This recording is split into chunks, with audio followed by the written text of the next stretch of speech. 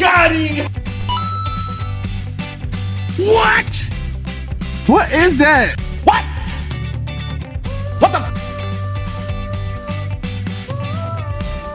Nope.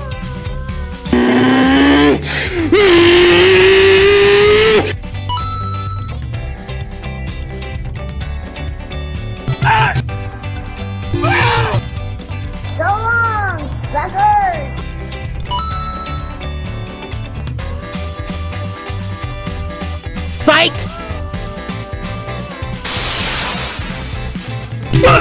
He could go all the way!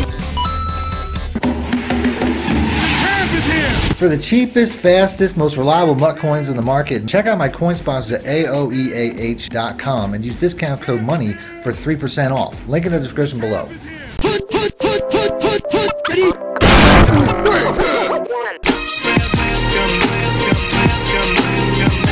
Welcome back, Money Team. This is Madden Moneyshot. Sniffing out the man. She's always got some glitch plays for you guys today. I'm going to be showing you guys a new scheme. It's kind of an updated version on something that I put out earlier in the year, uh, but it's super glitchy. And if you run it right, it's one of the funnest offenses, one of the hardest offenses in the game to stop. The formation itself is the single back bunch TE, and I already showed you guys a couple of plays out of this. Now, if you didn't catch that video, don't worry about it because I'll go over these plays again. So let's go and let's put these plays in our audibles. There's five plays in this scheme altogether. Uh, the number one running play would probably be the power fake jet. The zone fake jet obviously works really well off of that because a lot of people are going to follow that uh, crossing receiver once the motion starts.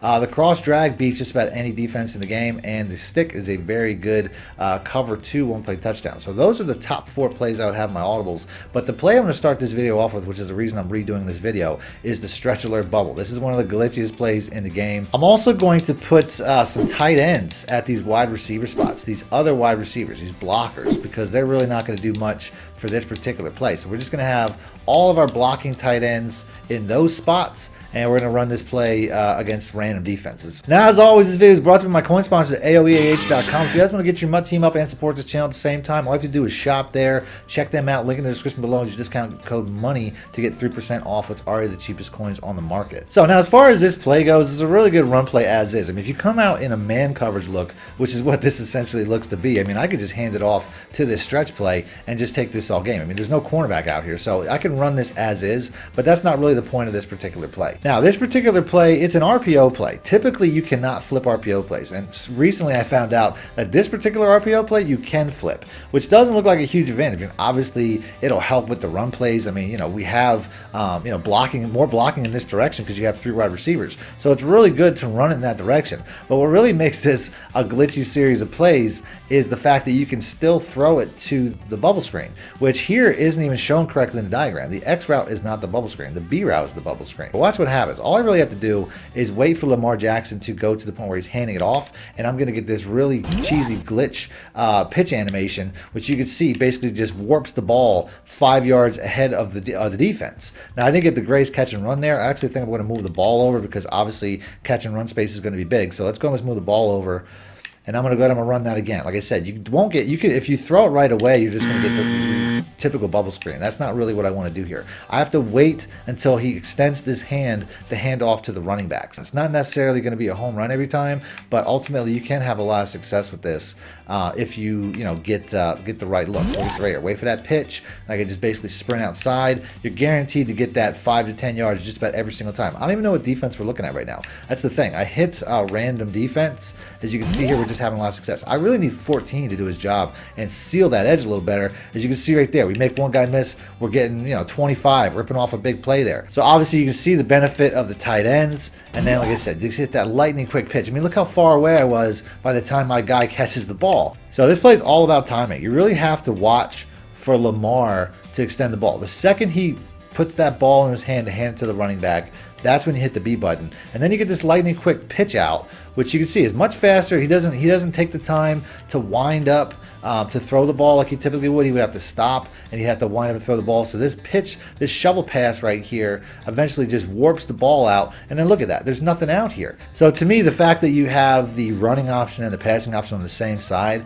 really just messes with, with the defense's AI. And it's just super cheesy looking play because they're not really going to know. Your opponent's not going to know what to do with this particular play. As you can see right here, we get outside of that finally. Uh, we get a very very big play, almost almost 50 yard, 40 yard play right there. Now there's multiple advantages to be had here. Like you could flip this play and run it behind the three wide receivers, which ultimately I think is a really good look because you could see that defender hesitated because they were playing the screen. I'll go to the replay to show that. On the play like this, I probably would have just wanted to run it to the open side of the field where there's no defenders. But you can see because of this bubble screen, watch how this defender slows down, waiting to react to the bubble screen. That there is a huge advantage. He basically comes in, he could just shoot right in at the at the running back if he knew it was going to be a handoff. But because of this, uh, you know, misdirection here because of the bubble screen, he has to slow down and wait, and that eventually just basically lets me get outside and get a very big play. And then you have the option to just run it, like right here. I mean, this is looks like an all-out blitz. Look how we just have so much success here just running it behind the three receivers slash two tight ends. And we have a very explosive run play as well.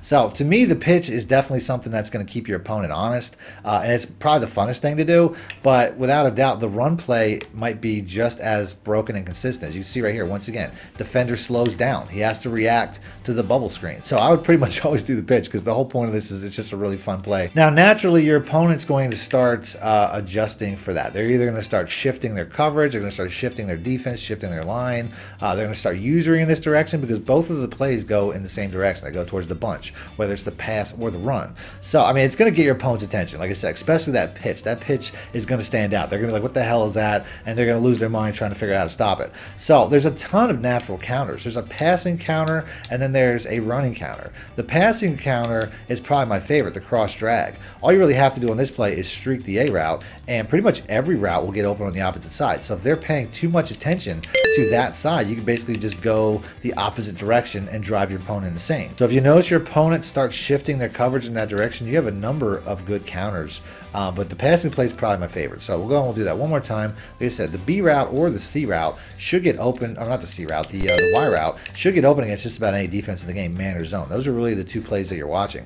Although I don't think I have a good a receiver running it here with Bateman because you could see on that particular play, he must have got jammed up all crazy or something because it took him forever to get across. So a better uh, route running, you know, that should that would be the money route. You, I'd want to have Marquise Hollywood Brown on this particular route this time. And then you have a really good run play in the opposite direction too with the wide receiver power fake jet. And I think this is a pass play, uh, but ultimately it doesn't matter. This is another play where once again it's going to go to the exact same guy. You got the fake, and then you basically got your end around to Hollywood Brown. Uh, and you can see right here once again a very explosive play in the opposite direction. Uh, that receiver becomes a really good blocker. Let's go and let's watch the replay one more time. This first guy here, as you can see, it looks like it's a fake to him. I guess it was a handoff, but he becomes a really good lead blocker. He typically uh, becomes the, the, the guy you want to follow. As you can see right here, he gets down the field, gets enough of this guy to basically spring me to the outside, and then he continues down. I mean, he goes on all the way to the safety level. So ultimately, a very good series of blocking when it comes to this run play. Then you also have the zone fake jet. So if your opponent starts following this uh, this motion receiver, you can go the opposite direction and still have a very big play uh, going the opposite way. So you really have, you know, that's the whole point of this series of plays. You have plays where, you know, they're, they're, they're just dramatically stretching your opponent's user across the field in both directions, whether it's the cross drag and you're going dramatically in one direction uh, to the left or right. Uh, the same thing with the power fake jet, the zone fake jet. They're just huge plays to both sides, uh, which really makes this a very hard uh, offensive scheme to, to try to stop. So I'm going to end the video there. If you guys want to see more out of this formation or more out of this playbook, hit the like button let me know in the comment section. If you want to watch the original video where I go into some of these plays in a little bit more detail, it should be popping up above my head right now. All you have to do is click the little icon. Uh, you guys can check that out. Other than that, thanks for watching Madden Moneyshot. Need more help or just want to show your support? Then head over to my Patreon and join my team, where you can get exclusive content like ebooks and bonus plays, as well as early access to my vids and more. Link in the description below. Thank you.